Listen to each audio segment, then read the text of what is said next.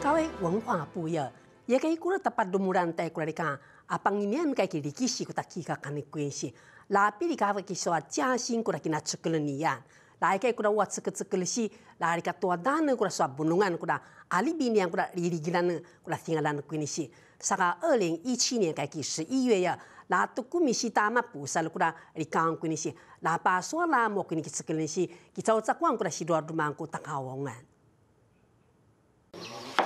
把，那个血呢？不要了啊！要洗吗？啊？给他看图纸啊，看图纸。哦，可以啊。在今天的这个日子里，是你赐给我们的，啊，谢谢你。我们今天一般有三将近，或许有三十或四十几位的，呃，亲朋好友，因为我们都是一家人。主耶稣，你常常提醒我们，告诉我们，我们要团结在一起，啊，不分你我。所以今天这个我们要祭拜，呃，阿公开工的那个仪式，完全靠在你的手上。今天因为我们非常的高兴，而我们。能够在一起有帮忙背水的，还有我们的呃圆明台的，还有几位我们一起同工工作的，还有背猪的。所以主耶稣，我们仰望你这个路上，啊，保佑我们，不管是路怎么走，你多次拉着我，我们走。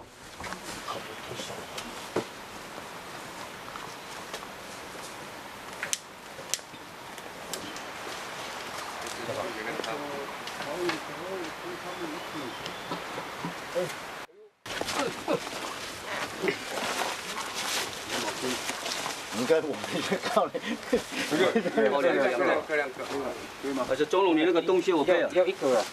一个了。这个不好走。中午放放哪掉？这个，这哦，哦，可以啊。好，轮流，要不要放那个毛巾？还有前面也要帮忙一一个到两个，随时调换。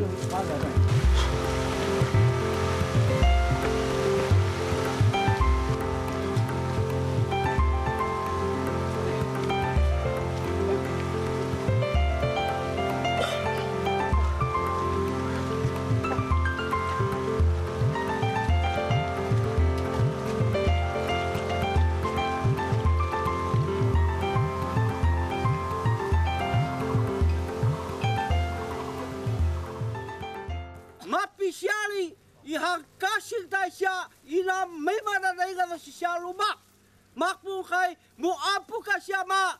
一天下心灵开，那不是那个，马高你下马，tu pahon minta kawas bunun to sobat tuan.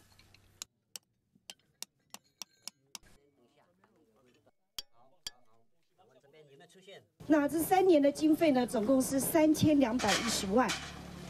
分成两大部分的工作。第一个呢，就是我们要在嘉兴旧社，哈，用传统的布农族的，啊这样子的一个建筑的建筑的技术，用传统的石材，包括石板、茅草，好，还有呢木头等，好，我们要去回复早年嘉兴旧社的家屋的这样的啊建筑物，也要回复当年的地景。我很高兴，因为那个老地方嘉兴，买那个是我们不能讲是买头嘉兴，买头嘉兴是买的就是我的曾祖父，啊，到我这边是已经是第四代了，啊，到我的孩子第五，我的孙子第六代，所以我也蛮高兴，因为今年初哎三月份我们有熊根，刚刚好就是那个。以前我们这个老前辈所做的这个房子，大概现在几乎都不没有人会，包括我自己，所以我应该我们都要学习，因为将来如果说我们这一代的人年轻人不学习的话，再过二十年，这个都会消失。第一个刀哈。那么为了好工作哈。我们诚实的说，我们祖先在哪里？有没有在我们的生活里？有没有为他们营造一个适合他们的情感的一栋房子？啊，那个房子是他们的记忆，那个房子是泪跟汗跟力量所连接的那一栋房子。今天我们都来了，我们就帮他们做吧，做这一栋他们熟悉的记忆，一栋房子。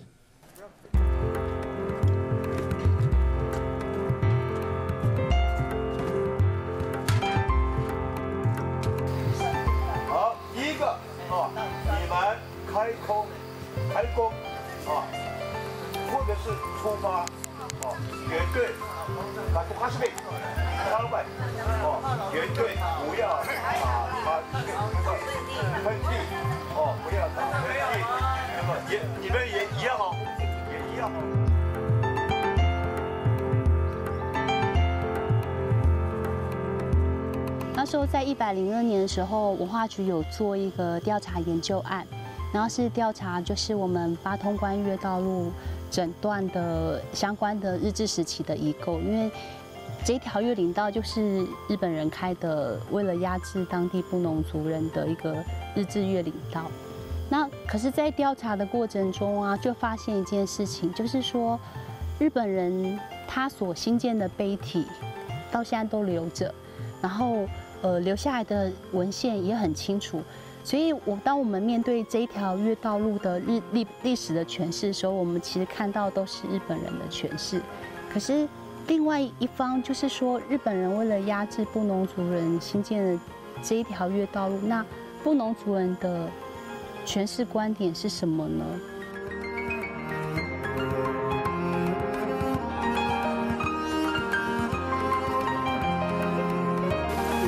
sanganung nakunjung dito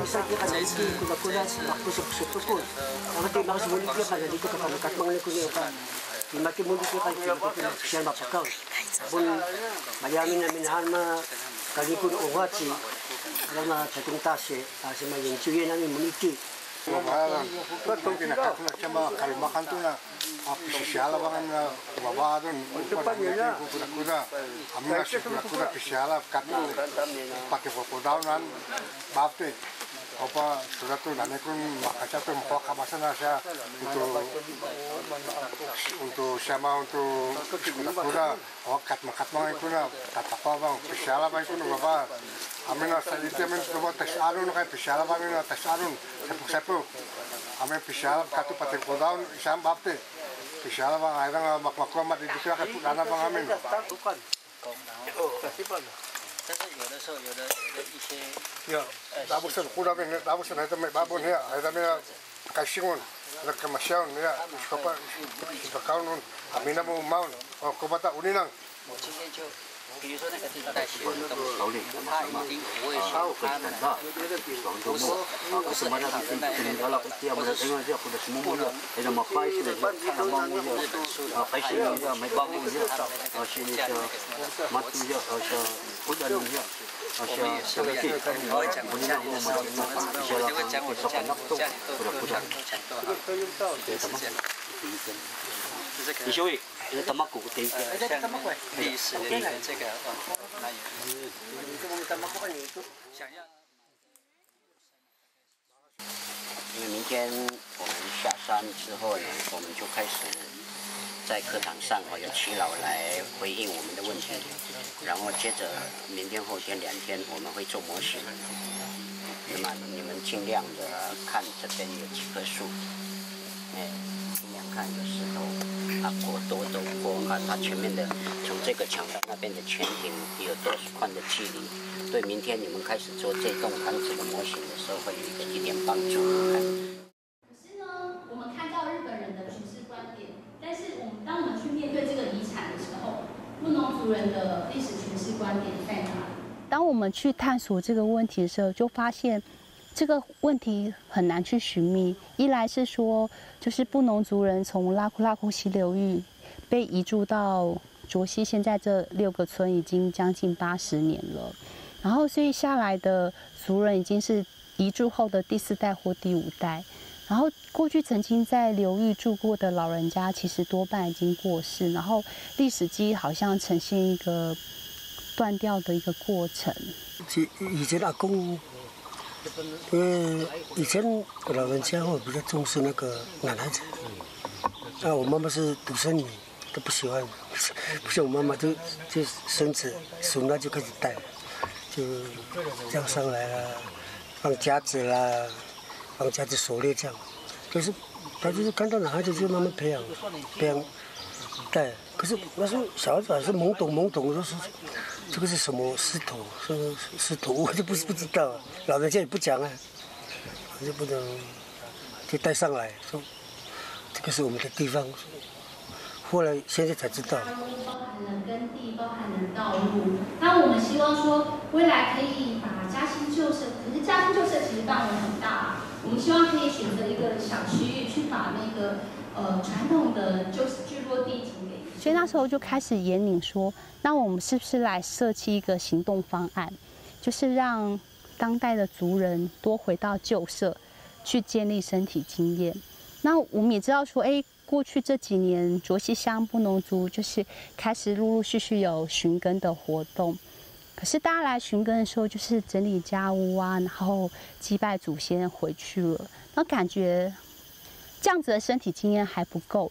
所以就嗯设计说，是不是我们就来做一件事情，就是嗯邀请我们当代的布农族人回到自己的祖居地，然后修复自己的传统家屋。所以就是在这样子的一个构想，呃，就设计了一个这样子的计划。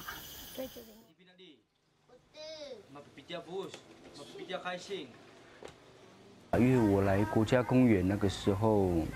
我才开始问家人，在一百零二年，我才问家人说：“哎，我的家在哪里？”对，那老老人家有问说：“我我我的家在嘉兴，对，嘉兴社，满都嘉兴。”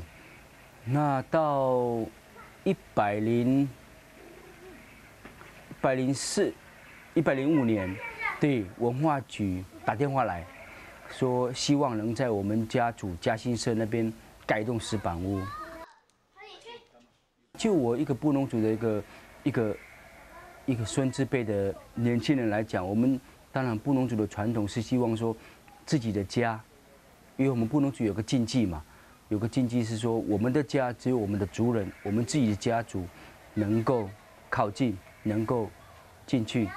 对，所以一一般布农族人是不可能到，不是他，不是属于他家族的家的这个领域里面。所以我才去问我们的曾叔公，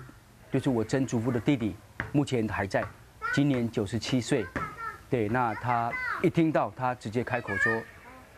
盖。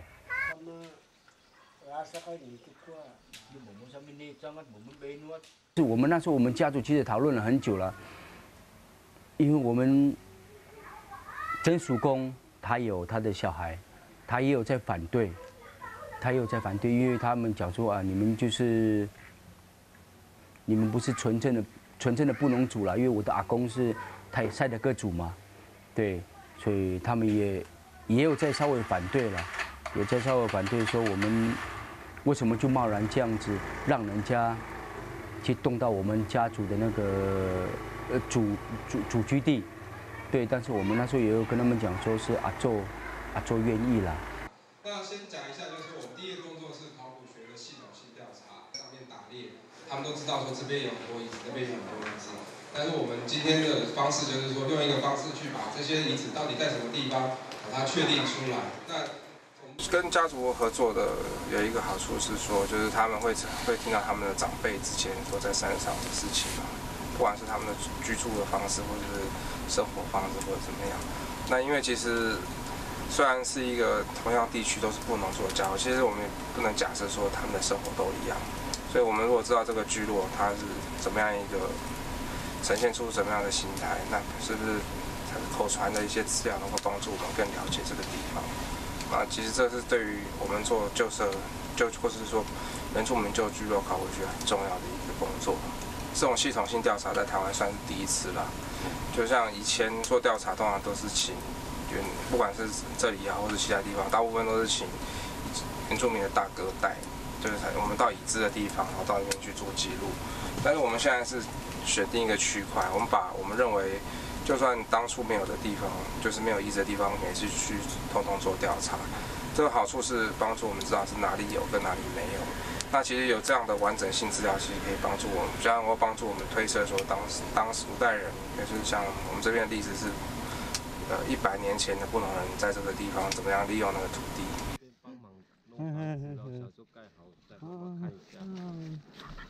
让我比较深刻的一点就是说，我分配到的那个位置一直走一直走，然后就发现到一栋那个